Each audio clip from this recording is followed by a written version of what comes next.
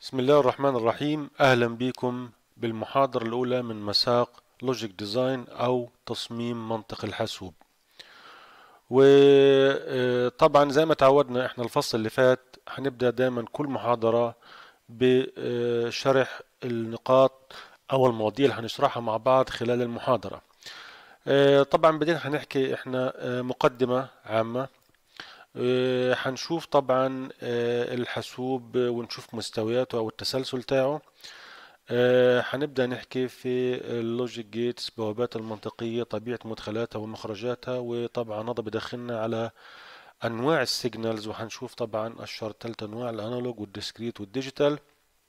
بعدين ندخل الآن جوا ال logic gates ونشوف عالم الترانزستور وكيف بتكونوا أو كيف آلية عمل ال logic gates من الداخل. وآخر شيء حندخل في عالم كيف تمثيل البيانات داخل الحاسوب من ناحية text أو صورة أو حتى الصوت وهيك بنكون إحنا يعني بنخلص المحاضرة الأولى. طيب بداية آه كمقدمة طبعا إحنا كل موضوعنا وكل شرحنا بيتعلق بجهاز الحاسوب. وحنشوف مع بعض إن ال logic design ال course هذا عايزين نشوف شو موقعه من الحاسوب نفسه عشان نبقى فاهمين إحنا أني منطقة هنركز عليها في عالم الحاسوب. طبعا الحاسوب اللي إحنا بنشوفه قدامنا هذا ال typical computer أو desktop computer مكون دائما وابدا من مدخلات أو وحدات إدخال أو وحدات إخراج أو وحدة معالجة.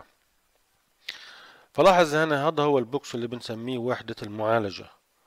وحيكون مشبوك فيه وحدات الإدخال زي ال keyboard زي المايك آه زي الماوس إلى آخره. وحدات الإخراج برضو اللي طالعة منه زي الطابعة زي الشاشة زي السماعات. طبعا نظام ال floppy disk أو السي دي أو الفلاش هذه بنعتبرها مدخلات ومخرجات يعني ممكن ندخل من خلالها على ال box أو نأخذ من جوا ال box ونخزن فيها. فبالتالي هي بتنفع مدخلات ومخرجات لكن مش هذا موضوعنا. فبالتالي الحاسوب ال typical computer اللي هو عبارة عندي عن وحدات إدخال ووحدة معالجة ووحدات إخراج. طبعا المكان الرئيسي أو الإشي الاساسي اللي هو وحدة المعالجة لأنه كل الزخم وكل التعقيد فيها اللي إحنا بنسميها أنا إيه؟ ال box. فهذا ال box هو إيه؟ هذا هو وحدة المعالجة اللي طبعا بيحتوي على آه ال ال العناصر الأساسية اللي بتكون جهاز الحاسوب. وهم اللي وحدة المعالجة المركزية والذاكرة. وطبعا إحنا بيلزمنا نوصل ما بين المعالج والذاكرة فبيلزمنا إحنا بص أو خطوط ناقلة. فإحنا هذا اللي بنسميه ال input output system طيب الآن هنا بقول لك تعال ندخل جوا ال box نفسه. فلاحظ هنا بقول لي zoom into المين كمبيوتر اللي هو ال box. عايزين ندخل جوا إيه؟ جوا ال box. هنلاحظ إنه ال box هذا بيحتوي على modules بنسميهم اللي هم زي ال CPU وال memory وال I/O bus ال I/O bus أنا قلت لك اللي هو اللي هو الحلقات الوصل أو ما بين أو الأسلاك اللي بتوصل ما بين ال CPU وال memory أو بين مكونات الحاسوب الداخلية. طبعا هذه ال modules اللي هم ال CPU وال memory وال I/O bus طبعا تركيزنا إحنا على مين؟ على ال CPU وال memory لأنهم هم أساس الحاسوب أو الحاسوب ال basic computer بنسميه. طبعا إحنا لما نحكي كلمة CPU هو ال CPU في حد ذاته وحدة ضخمة مكون من وحدات. بالفعل ال CPU إحنا مكون من ثلاث وحدات أساسية اللي وحدة الحساب والمنطق ووحدة المسجلات ووحدة التحكم. هذا الكلام أنتم أخذتوه بمهارات حاسوبية. طبعا الذاكرة هان بأنواعها إلى آخره. فبالتالي هنا هذا ال modules هنا هي مش نهاية المطاف هم طبعا مكونين من modules أصغر منهم بكونوهم. فإحنا هنشوف الكلام هذا من الرسم هنا فلاحظ هنا هذا هو ال box تاعنا. وال box لو فتحناه من جوا هنلاقيه مكون من عدة عناصر رئيسية اللي هم ال CPU والذاكرة وال I/O إلى آخره card الصوت card الشاشة. لكن إحنا اللي بيكون الحاسوب الأساسي اللي هو الذاكرة وال CPU. لو جينا على ال CPU فتحناه من جوا لأنه هذا هو أهم عنصر اللي هو ال CPU. راح نلاحظ إنه هو مكون من ثلاث وحدات وحدة الحساب والمنطق وحدة المسجلات ووحدة التحكم. الآن وحدة التحكم هذه عبارة عن دائرة منطقية ضخمة جدا زي الصورة اللي معانا هان. يعني عندنا عدد من البوابات المنطقية آلاف مؤلفة منها مشبوكين بطريقة معينة عشان تنتج عنا وحدة تحكم. آلاف مؤلفة من بوابات المنطقية مشبوكين بطريقة تانية عشان يكونوا عنا وحدة الحساب والمنطق. وآلاف مؤلفة برضو من البوابات المنطقية مشبوكين بطريقة مختلفة عشان يكونوا عنا المسجلات اللي بنستخدمها للتخزين. فلاحظ هنا لكن كل البو... لكن كل ال digital أو أو, أو البوابات الدوائر المنطقية هاد كان دائرة وحدة التحكم أو دائرة الحساب والمنطق أو دائرة المسجلات كلهم بالأساس مكونين من من لبنات اللي هم إيه؟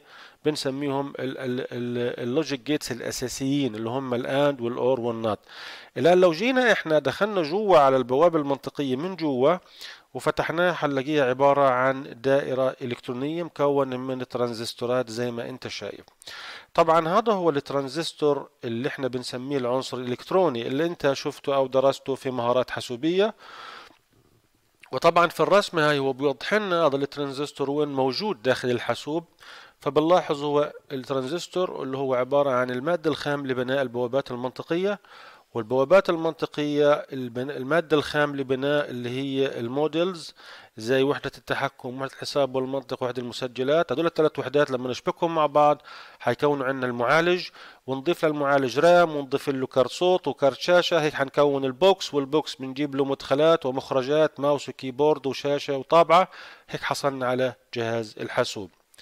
طيب الكلام هذا إحنا موضحينه هنا فجايين نلاحظ بالنسبة لل computer system level هنا. هذا بيحكي لي على التفصيل اللي هان بيقول لي مكون. يعني أنا عمال الكلام اللي حكيته كاتب لك إياه أنا نص.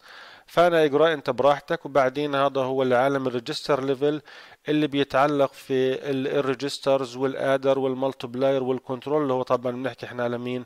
على العالم اللي هان.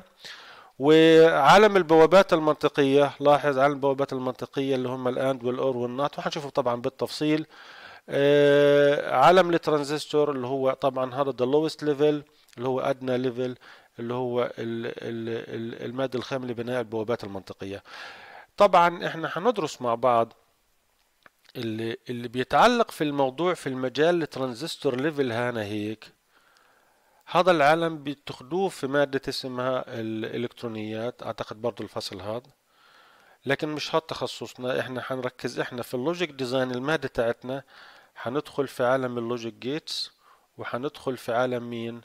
هاي ال logic level وهندخل في عالم ال register level وحنكون مع بعض من البوابات المنطقية هات حنكون ال counter وال multiplexers وحنكون ال adder اللي بيجمع وال register اللي بيخزن وال multiplier و control unit. هذا كله حندرسه مع بعض خلال ال course.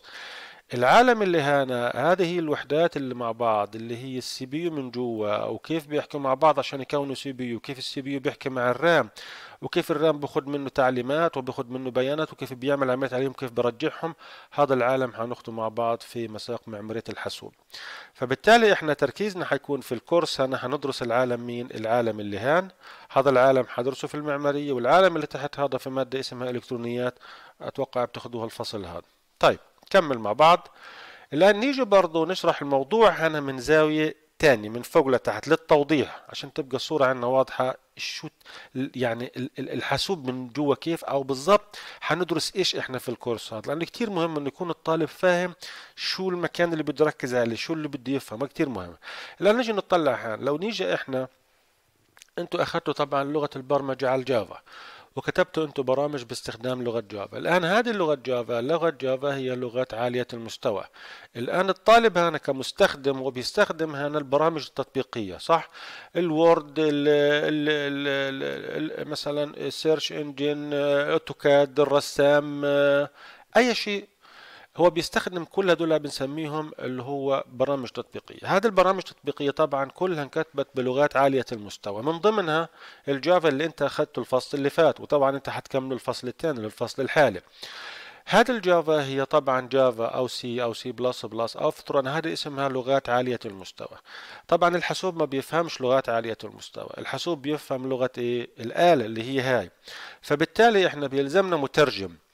اللي إحنا بنسميه هنا ال compiler أو ال interpreter في حالة اللي هو الجافا يحول لي الكلام هذا هيك للغة التجميع. وبلزمني أنا المجمع هنا اللي هو اللي بيحول لي من لغة التجميع هنا للغة إيه؟ الآلة. هذه اللغة اللي بيفهمها جهاز الحاسوب. إحنا بس بدنا نوضح هنا نلاحظ من من high level language ل assembly language ل machine language هذا الترتيب بيلزمنا هذا ضروري لأنه في نهاية المطاف الحاسوب ما بيفهمش لا high level language ولا بيفهم assembly language إيش بيفهم فقط؟ machine language تمام؟ لما نصل إحنا على ال machine language زي ما إحنا شايفين الآن هذا ال machine هذا اللي بتخش جوا على ال hardware طبعا هذا المنظر هنا هو ال hardware طبعا هنا مثلا بيعطيني بيقول لي هذا هو ال ALU وحدة الحساب والمنطق. هذا ال control اللي هنا هي ال control unit. وعندنا هذا هو ال register ات على سبيل المثال مسجلات والمسجلات بتأخذ هذا هي من ال RAM اللي هنا. وهتاخذ ال instruction وكيف بتوزع ال instruction طبعا لاحظ أنا بس بعطيك فكرة سريعة. يعني مثال لما ندخل إحنا لواحد واحد صفر هذا ال instruction بنسميها أو اللي هو ال instruction بلغة الآلة. لما تدخل هنلاحظ الواحد واحد صفر حتيجي هنا عندنا هيك بعدين صفر واحد صفر حتيجي في المكان اللي هان. هذا بيدخل على ال control الأول أربع bit تاني خمسة bit بيدخلوا على ال على, على ال register. مثلا ثالث سبع سبعة bit بروحوا على المكان على ال multiplexer multiplexer بيطلع اللي هنا بيفتح ال switch اللي هنا بضيف زي هيك بعدين بدخل بيعمل shift هذا بيجمع رقمين بيطرح رقمين بينقل إلى آخره. فبالتالي اللي كل الحركة اللي حتصير هنا هيك كلها حتكون مرهونة بمين؟ بالأصفار والوحدات اللي هان. يعني صاروا هم هم ال control بتحكم في كل العالم اللي هان. طبعا هذا العالم اللي هان شو هو؟ طبعا نشوف التفصيل تاعه لو أخذنا إحنا مقطع صغير يعني بالذات المقطع هذا هيك لاحظ هذا هو عندنا ال ALU وعندنا مثلا register.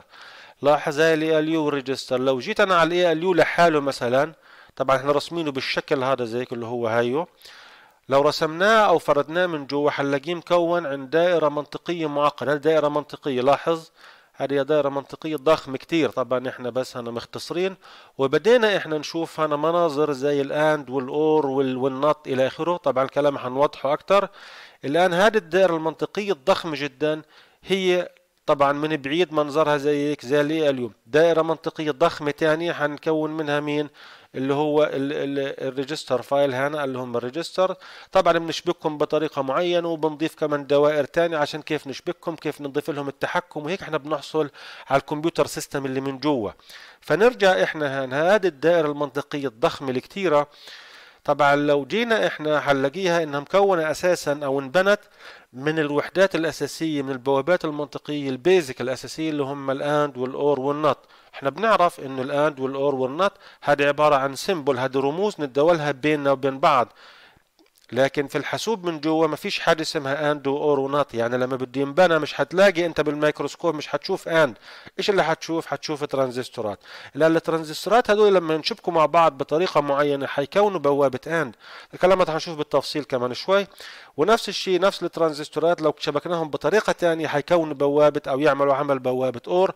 بطريقة ثالثه هيعملوا بوابة NOT الان فبالتالي إحنا لو بدنا نعمل نحول الكلام من هنا هيك اللي مكون من بوابات منطقية اللي هم رموز بيننا عشان نفهمها ونحولها نعملها داخل جهاز الحاسوب حيكون منظرها زي كل اللي هنا زي ما أنت شايف ترانزستورات. يعني هذا المنظر هو نفس المنظر هذا. طبعا هيك إحنا نفكر. فبالتالي الحاسوب من جوا هو كله عبارة عن ترانزستورات موصولين مع بعض. واضح؟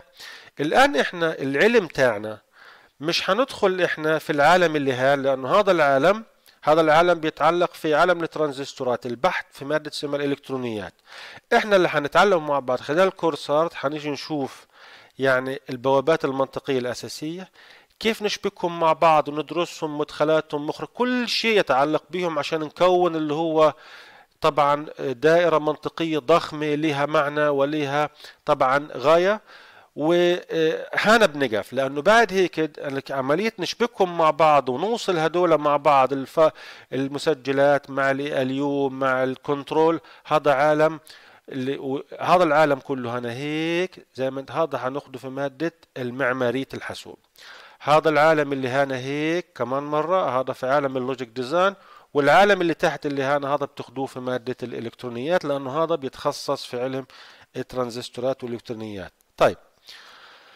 فبالتالي هنا يعني الملخص الكلام اللي حكيناه إحنا كل اللي عايزين نشوف إحنا السلايدين اللي فاتوا منه يعني هذه المادة وشو موقعها من عالم الحاسوب حندرس إيش يعني بالضبط. فبالتالي هذا الكورس إحنا هنسميه هو logic circuit design هنعمل تصميم للدوائر المنطقية. ملوش دعوة بال system design يعني مش هنصمم المعالج architecture لأنه هذه مادة في مادة المعمارية ولا هناخذ موضوع ال electric circuit design ملناش دعوة في الإلكترونيات لأنه هذا تاع الترانزستورات يعني. هذا في مادة اسمها الإلكترونيات. طيب. الآن هنا ندخل في عالم ال logic gates لأنه هو كل المادة هان كلها تتمحور حول ال logic gates أو البوابات المنطقية. شفنا إحنا بالأول البوابات المنطقية مكونين أساسا هم من ثلاث وحدات منطقية. الوحدة الأولى أو أو ال logic gates الأولى اللي هي بوابة ال AND والبوابة الثانية بوابة OR والبوابة الثالثة اللي هي بوابة NOT. لاحظ كمان مرة هدول ال symbol هدول الرموز تاعتهم. إحنا بنرمز لهم عشان نتداول بيننا وبين بعض. الآن لكن الآن من جوا هنا لو بدنا نرسمها هاي ال NOT من جوا عبارة عن ترانزستورات. يعني أنا الحين أنا نقعد نرسم هاد عشان نوضح شغلات معينة بال symbol هاي ولا نرسمها بالدائرة هاي؟ طبعا هذه أعقد. يعني لاحظ الدائرة هاي. عشان أرسم لك ال OR أرسم لك ال symbol هيك ولا أرسم لك إياه هيك؟ طبعا إحنا نرسمها هيك لأنه أسهل بالتداول بيننا لكن هي حتنفهم إنه هي الدائرة المكونة من الترانزستورات بالشكل هذا. فهنا بوضح لي إنه يعني شايف ك symbol إيش كيف منظر البوابات المنطقية وهنا بوضح لي اللي هو كال transistor circuit تاعينا واضح؟ طيب.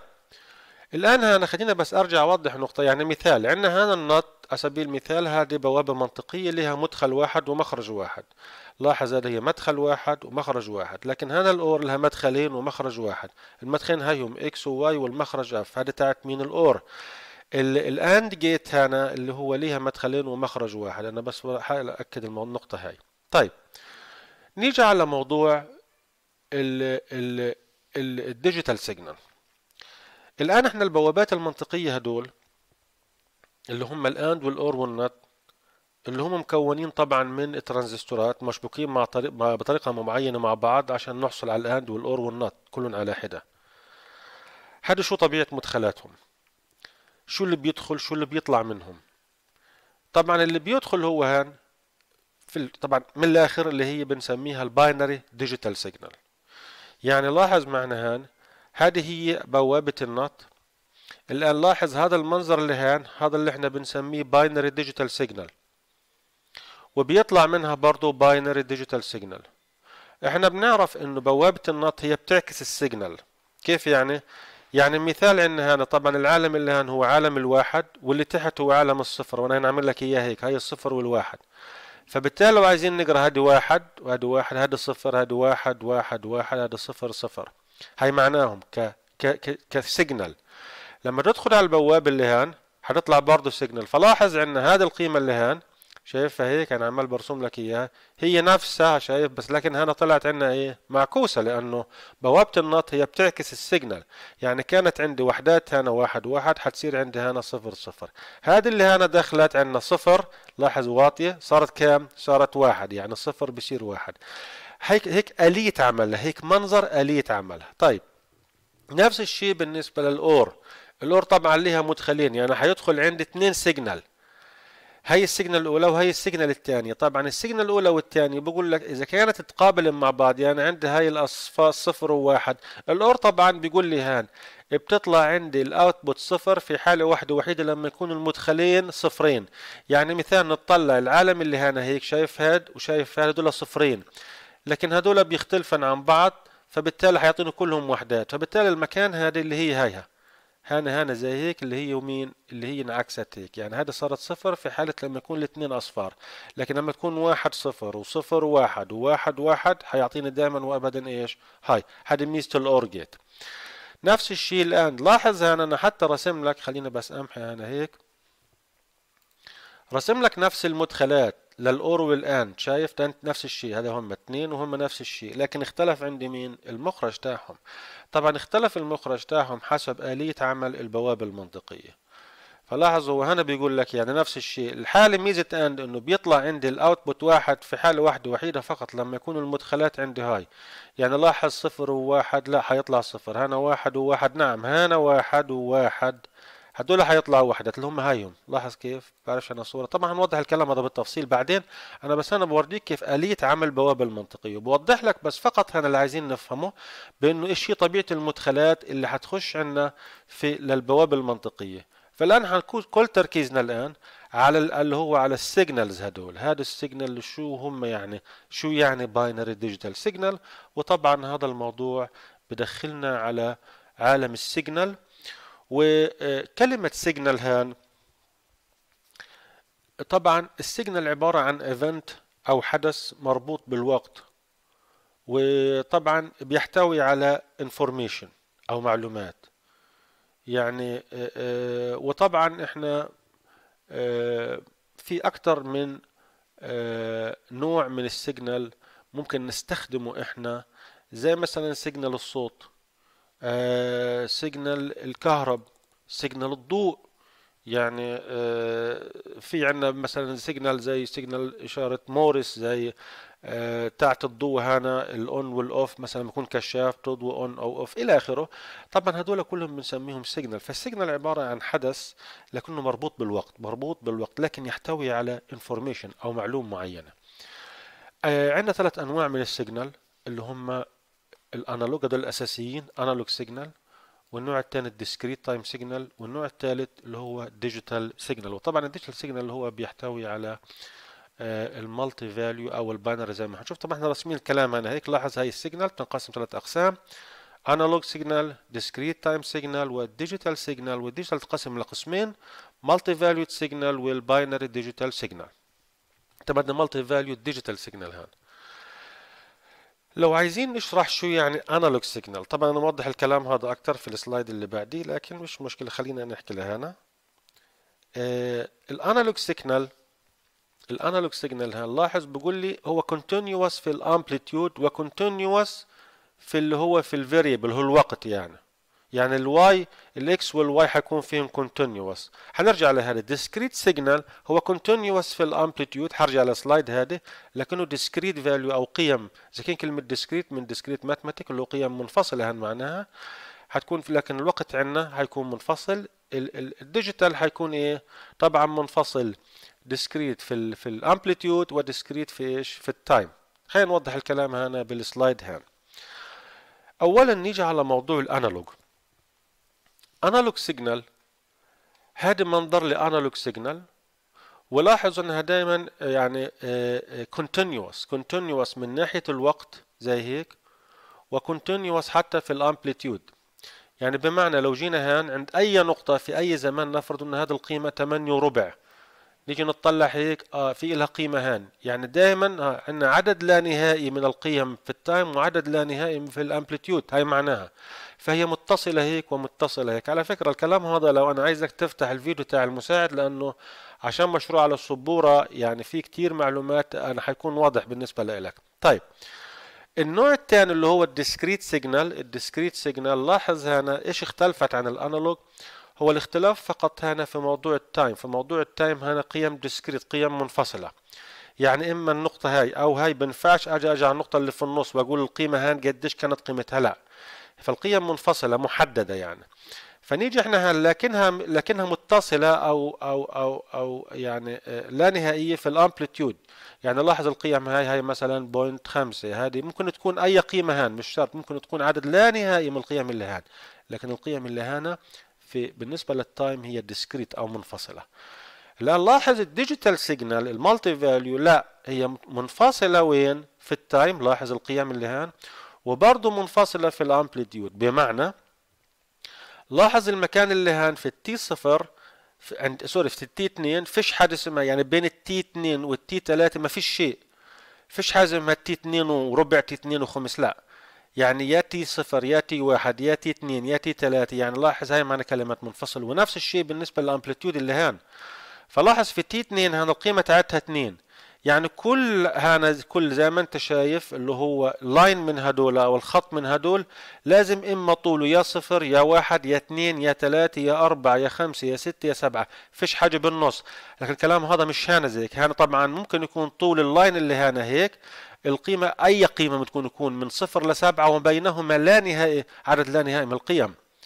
واضح شو الفرق بين ال digital عندنا ال multi value digital signal وبين ال discrete. وبين ال discrete وبين ال analog. طبعا إحنا قلنا ال digital signal هنتقسم لقسمين؟ multi value هذا مثال ل multi value شو معنى multi value انه طول ال line هنا قد ياخذ أكثر من قيم يمكن يا صفر يا واحد يا اثنين يا ثلاث يا أربعة يا سبعة. يعني أي واحدة من هدول. هذا بنسميه multi valued لكن لو كان عندي binary لا هو binary هان يا إما صفر يا واحد. يعني القيمة اللي هان هيك ال amplitude تاعتها طبعا هو منفصل عندنا في الوقت هذا خلصنا منه. وال amplitude برضه تاعتها منفصل لكن القيم تاعت ال amplitude فقط قيمتين يا صفر يا واحد. لكن لاحظ كم قيمة عندنا هان في ال في, ال في ال multi value عندنا 8 قيم من صفر لسبعه طيب فبالتالي عندنا هنا هذه هي ال binary digital signal يعني لاحظ هنا القيمة بتاعتها صفر واحد صفر واحد فيش شيء بالنص. فيش حاجة مثلا فيش شيء بالنص يعني يا صفر يا واحد. فبالتالي إحنا هذا سميناها هذا هو معنى binary digital signal طبعا حتوضح معنا كمان شوية ليش إحنا بندور على موضوع ال discrete؟ يعني القيم ال discrete هنا هيك أو ال discrete هنا هيك. فيش بيفرق معنا هذا. وهذه هي اللي حتحل لنا المشاكل اللي كانت في ال analog. لأنه موضوع إنه يكون continuous من هان و continuous فلا بتعمل عندنا مشاكل. كلام حنوضحه إحنا في ال slide اللي بعدي. طبعا سائل السؤال هنا ليش why digital ليش إحنا لجأنا لموضوع ال digital؟ طبعا إحنا اللي هو ال ال ال ضد ال digital اللي هو إيش؟ لما يجي على بالك كلمة digital حتتذكر كلمة ال analog. ال analog هنا يعناته continuous أو المستمر عالم ال digital اللي هو يعني في عندنا تقطع في ال ال في في الوقت وفي موضوع ال amplitude. تعال نفهم الكلام هنا هيك وهذا حيوضح لنا ليش إحنا كل العالم الآن اتجه إلى عالم ال digital. زي ال digital camera ال digital music بنسميها زي ال CDs آه، وطبعا تخلينا عن موضوع وحتى الريسيفر وحتى التلفزيون وكل كل اتجاه راحت في عالم ال digital. إيش المشاكل اللي كانت في ال analog وكيف إحنا حليناها في عالم ال digital؟ طيب اولا عايزين إحنا هذا النظام عندنا هنا هيك هذا نظام في ال analog system وهذا طبعا هذا ال sender وهذا الريسيفر وعايزين نبعت إحنا من ال sender لل receiver مثلا شحنة كهربية. طبعا هذه الشحنة الكهربية بالفولت إحنا بنقيسها هان. لاحظ صفر اثنين ونص خمسة. طبعا هذه قيم عندنا ما لا نهائية طبعا منها. فرضا لو عايزين نبعت إحنا قيمة اثنين ونص من ال sender لل receiver اللي هان. لكن لما في الطريق هنا إيش حيصير؟ في عندي مشكلة بنسميها إيه؟ ال noise. بنسميها ال noise. وهذا ال noise بيصير في ال wire شو ال wire اللي هو السلك ما بينهم؟ طبعا لازم يكون عندنا وسط ناقل عشان أنقل ال signal أو الإشارة أو هو الشحنة الكهربية من ال sender لل receiver. أنا عايز وسط ناقل. الآن هذا ال wire أو السلك المشكلة ممكن إنه يقابله noise ال noise هذا بتصير نتيجة الرطوبة نتيجة الحرارة نتيجة إنه السلك بدأ ينهري نتيجة إنه السلك بيكون جنب سلك آخر وتأثر بالمجال تاعه على سبيل المثال. فبالتالي يعني في عنا أكثر من سبب بيسبب لنا ال noise وهذا ال noise شيء في الطبيعة بنقدرش إنه إحنا نلغيها. هذا لابد من وجود ال noise. لكن إحنا اللي حنحاوله مع بعض بإنه إحنا كيف نقلل من تأثير هذا ال noise بالرغم من وجودها. فبقول لي هنا لاحظ خلينا نمحي هاد. بعتنا اتنين ونص مع ال noise هنا عندنا زادت point اتنين الفولت فوصلت عندنا هنا قديش؟ اتنين وسبعة. لكن هذا قراها إيش؟ برضو اتنين وسبعة. هي وصلت اتنين وسبعة وهذا قراها اتنين وسبعة. طب هو ليش قراها اتنين وسبعة؟ لأنه هو بيقبل أي قيم يعني عدد لا نهائي عدد لا نهائي من القيم من هان لهان فيش مشكلة عنده. الآن هذه مشكلة. هذه المشكلة في إيش؟ بأنه هذه انبعت اتنين ونص لكن هنا وصلت كام؟ اتنين وسبعة. طيب. الآن لو ريسيفر هذا اللي هنا بعد لواحد تاني بعت ل R2 على سبيل المثال يعني لريسيفر تاني هو هيبعت له اتنين ونص. لو نفرض كمان نفس ال noise برضه موجودة هتصير عندي اتنين وتسعة. لو الريسيفر التاني بعت لريسيفر تالت هتصير تلاتة وواحد لريسيفر رابع يعني كل مرة هتقعد تزيد. لاحظ إحنا لو بعتنا لعشر ريسيفرات يعني بالتوالي واحد يبعت للثاني الثاني للثالث الثالث للرابع الرابع للخامس لما نصل للعاشر. طب هي إحنا الشحنة الكهربية اللي بعتناها؟ أو ال signal اللي إحنا بعتناها هنا هي اتنين ونص. راح تصل مثلا توصل له سبعة على سبيل المثال أو خمسة. طبعا هذه مشكلة. لأنه هذا كلام عندنا النظام مش حيزبط معنا هذا صار نظام عندنا معقد ومش ظابط وفي خلل. فهذا آه، طبعا هذا السبب نتج لوجود ال noise و... و... وإنه آه، آه، طبيعة ال analog هنا بيقبل أي قيمة بيقبل أي قيمة. طيب هذا الكلام كيف حنعالجه في ال digital؟ اولا إحنا بنعرف إنه في ال digital القيم اللي هنا لازم يكون قيم إيه؟ قيم discrete يعني آه ما فيش فيش حاجة بالنص. ما هو يا صفر يعني مثالها للتوضيح يا واحد وربع يا اتنين ونص يا تلاتة وتلات أرباع يا خمسة فولت مثلا. يعني ال signal هتطلع من هاد هتطلع واحد من هدول يا هتطلع صفر يا هلج... يا واحد واثنين ونص يا هاد يا هاد يا هاد فقط. الآن هنا لما بنطلع نفرض عنا طلعت اتنين ونص فرضا للتوضيح. ومرينا برضو بنفس المشكلة تاعت ال noise نفس نفس ال wire وضفنا لها اللي هو point 2 الآن حتصل عندي حتصل هنا كام؟ 2 و7 لكن هذا حيستقبلها أو حيقراها 2 و7 لا. ليش؟ لأنه هدول عنده مناطق منفصلة. يعني يا حتدخل عنده في عالم الصفر يا حتدخل عنده في في الواحد وربع يا حتدخل عنده في اثنين ونص يا ثلاثة وثلاث أرباع يا سبعة. فيش حاجة بالنص. بيستقبلش اللي بالنص بيعترفش فيهم. فبالتالي هنا أقرب قيمة للكلام اللي هنا حتدخل عندي وين؟ على اثنين ونص. نلاحظ هنا هذا كلام مهم. هي وصلت 2 ونص وبالرغم من وجود ال noise الصغير اللي هنا اللي هو كان point 2 فولت برضه استقبلها واستقبلها 2 ونص لكن قرأها إيه؟ 2 و5 إلا لو بده يبعتها هو للريسيفر الثاني حيبعت له إياها برضه 2 ونص. وهو برضه حيستقبلها 2 ونص. ولو يبعتها للريسيفر الثالث برضه هيبعتها 2 ونص والرابع حيستقبلها 2 ونص. لما نصل للريسيفر العاشر أو للمية برضه حيستقبلها 2 ونص.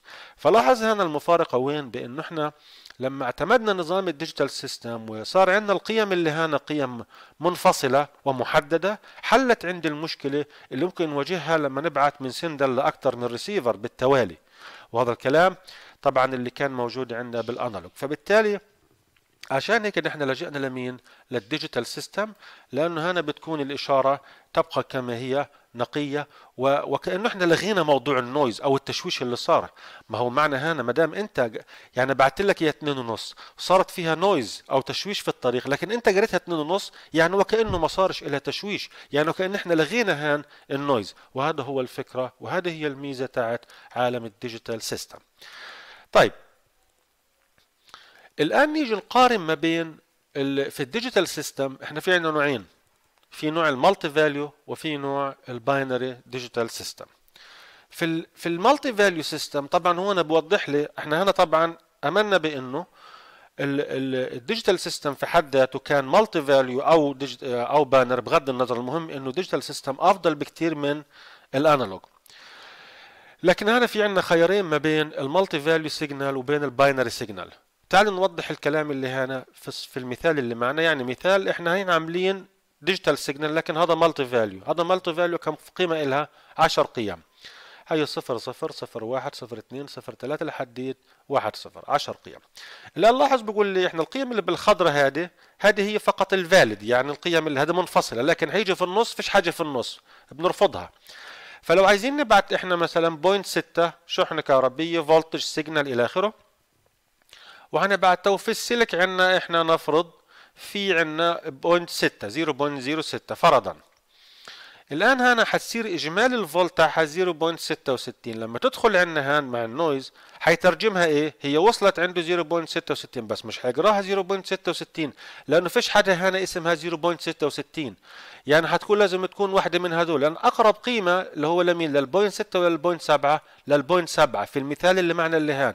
أها. يبقى حيقراها هو إيه؟ أو حيستقبلها هان أو حيخزنها كإيه؟ ك point 7 بس في مشكلة أنا عندي هان هي انبعتت كام؟ انبعتت point 6 لكنها وصلت كام؟ point 7 طبعا نتيجة إنه هنا ال noise كان عالي. لكن تعالوا نشوف إحنا لو وسعنا لو كان النظام عندي binary يعني مثال أنا كل العالم اللي هنا هيك هذا low والعالم اللي هيك هذا low إيش؟ high بنسميه. يعني يا low اللي هو صفر يا high يعني واحد. الآن ال signal اللي عندي هنا يعني لو كانت صفر صفر صفر واحد صفر اثنين صفر حعتبرها low. ولو كانت عندي point سبعة point ثمانية point تسعة واحد حعتبرها high. شايف أنت يعني صار في gap كبيرة أو فراغ كبير بين ال high وال low هذا بيفرق معنا كتير. هذا بيحل لنا المشكلة بدرجة كبيرة مقارنة بال multi value زي ما حنشوف. الآن فرضا هنا لو إحنا باعتين point 3 يعني على الحف أنا بعت لك هنا point 3 وصار عندي noise مش point 6 point 9 point 09 زي ما أنت شايف ها؟ point 09 حتصل هنا point 09 لكن حتدخل في منطقة ال invalid. يعني حتروح على أقرب نقطة. طبعا هي حتكون قريبة من وين؟ من هان فحتقبل كأنها إيش؟ كأنها صفر. وهذا طبعا حلينا المشكلة هان يعني لاحظ مع أن ال noise أنا عندي هنا كبيرة مقارنة باللي هان اللي في الحالة هذا ال noise كانت 0.09 فولت هذا ال noise كانت 0.06 إلا إنه هنا في في ال noise اللي 0.06 طبعا عملت عندي خلل. وانبعثت عندي 0.06 ووصلت عندي 0.7 وقرأت 0.7 نتيجة خلل اللي هو كان 0.06 فولت. لكن هنا لاحظ معي مع إنه هنا ال noise عندي أعلى 0.09 لكن انبعثت هنا low وانترجمت هنا أو وصلت هنا أو تم ترجمتها low. يعني فبالتالي هذا الريسيفر لو بده يبعث لريسيفر ثاني حيبعث له إياها إيش؟ low ولا high حيبعث له إياها low. واللي low وال receiver اللي بعديه حيبعثها برضه low. واضح هان؟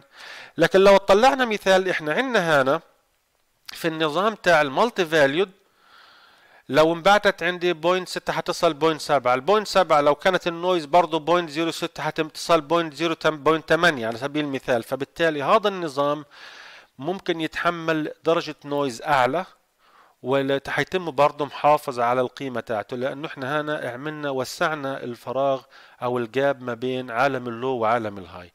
فهذا هو مفهوم كلمة اللي هو ال binary digital signal وطبعا هذا النظام مريح وهذا النظام صار عندي أنا معتمد و more reliable يعني يعني أنا لما بدي أبعث لك signal اللي هي low حتصلك low فيش مشكلة.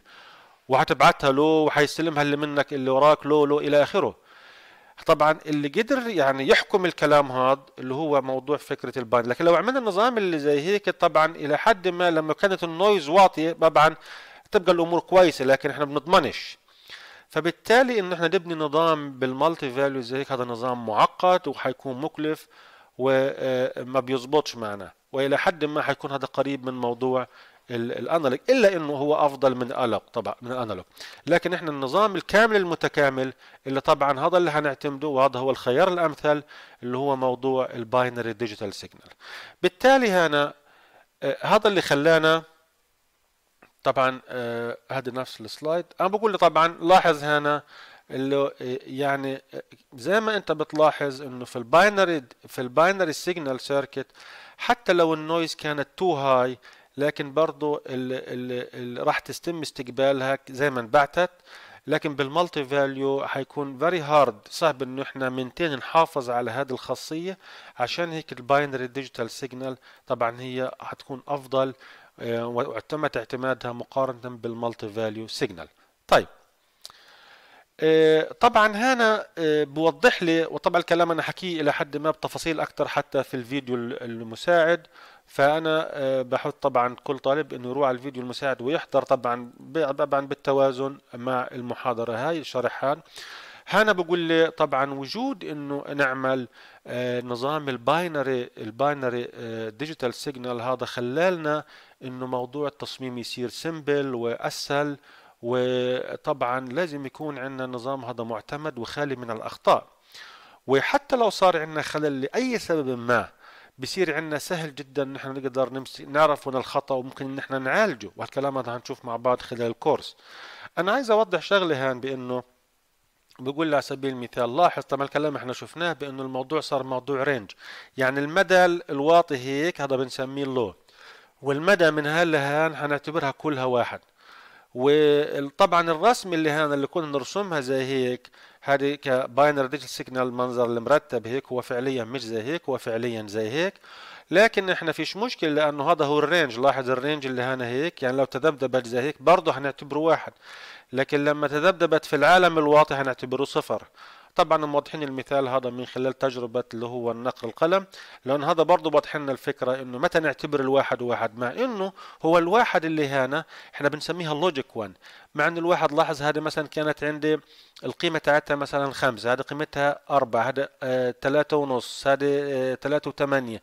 مع إنها اختلفت اللي إحنا هنعتبرها إيش؟ برضه واحد هاي مفهوم الكلام. فبالتالي لما نشوف إحنا رسمة زي هيك طبعا حيجي على بالنا اللي هو تكون لأن هذا كهرب والكهرب أساسا في حد ذاتها فيها نوع من وطبعا الخلل اللي بيصير هنا اللي هو التموج اللي هات نتيجة ال noise اللي راح تصير. لكن هذا ال noise إحنا قدرنا نعالج المشكلتها آه نفس الشيء نفس الفكرة. هنا موضح لنا الكلام هذا أو موضح لي حاجة اسمها ال noise margin.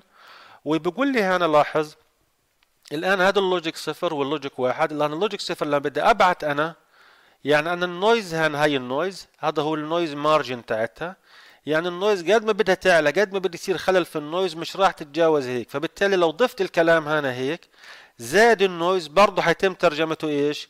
ك logic صفر. ونفس الشيء ال logic واحد لو ضفت لها برضه ال noise اللي هنا يعني هذه كلها هيك حتترجم logic واحد. هاي معناة اللي هو التوضيح اللي هو الرسم اللي هنا هيك. طيب. الآن نيجي على ال... نشوف الهنا ها. هدول الأمثلة بدينا نطلع بعد ما أخذنا فكرة على إيش طبيعة المدخلات للبوابات المنطقية وشفنا إنه لازم إنها تكون binary digital signal نتيجة الميزة اللي فيها مقارنة بال multi-value مقارنة بال analog فبالتالي أنا عندنا البوابة المنطقية تاعت ال NOT هنا هذه ك symbol